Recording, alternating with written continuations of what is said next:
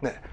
위로 가면 갈수록 눈에 보이기 시작하는데 빛이라는 건 한 약간 400나노미터에서 500나노미터 이런 식으로 가면 갈수록 가시광선 영역에 들어가게 되는데 300나노미터 이하의 것들 그러니까 예를 들면 X선이라든지 감마선 이런 것들이 있죠. 그런 것들의 유해한 자외선 외기로부터 오는 유해한 자외선을 성층권에 있는 오존층에서 그것을 차단해줘요.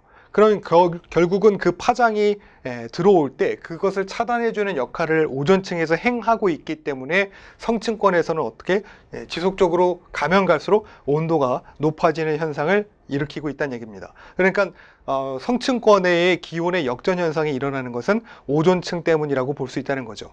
이해될까요? 그런데 이 오존층이 그럼 하는 역할이 300나노미터 이하의 것의 자외선을 차단해 준다는 얘기인 거니까 더 이상 들어오면 우리한테 좀 위험하다. 아, 그 역할을 얘네가 사- 해주기 때문에 우리가 생존한다 라고 볼 수도 있는 건데 이 오존층이 파괴된다 오존 홀이 생긴다 이런 얘기 들어보신 적 있죠? 그죠? 왜 생길까? 우리가 이 오존에 에, 문제가 되는 오존층의 어떤 음, 나쁜 짓을 하는 그런 행위를 하기 때문에 그런 거 아니겠습니까?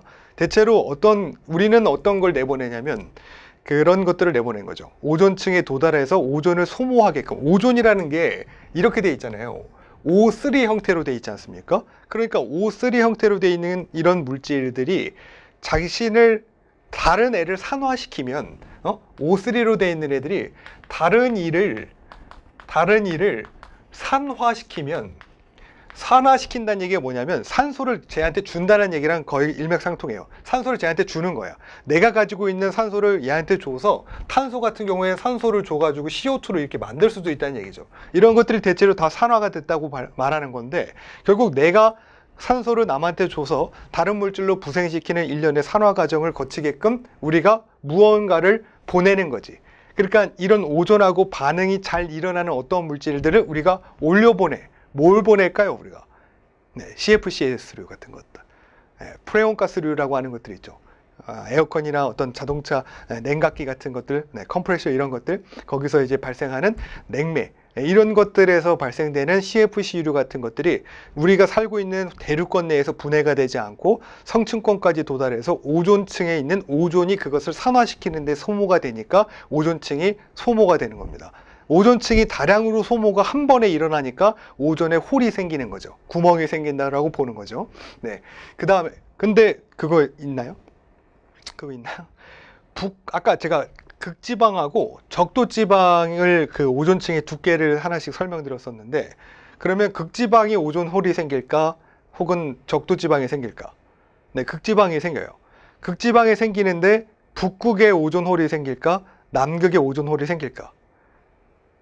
북극에 생겼습니다. 왜 그럴까? 남극 그건 이제 다음 시간에.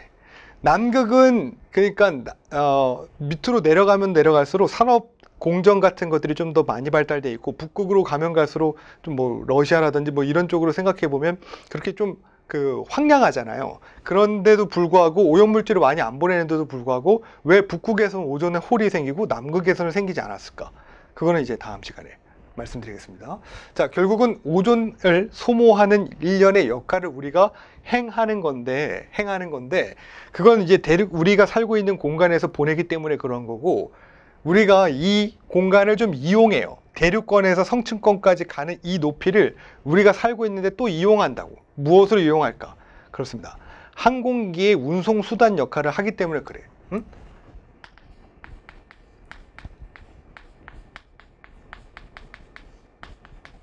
수단으로 이 성층권 쪽을 이용하기 때문에 그렇다는 얘기예요. 항공기 운송 수단 왜 우리가 이 비행기 타고 괜히 그 덜그덕거리는데 고도를 높여서 올라가는 거 아니죠. 대륙권 내에는 기류가 불안정하기 때문에 약간 안정한 고도까지 움직여야지만 천천히 잘 운행할 수 있다는 얘기죠. 그래서 올라간단 말이야.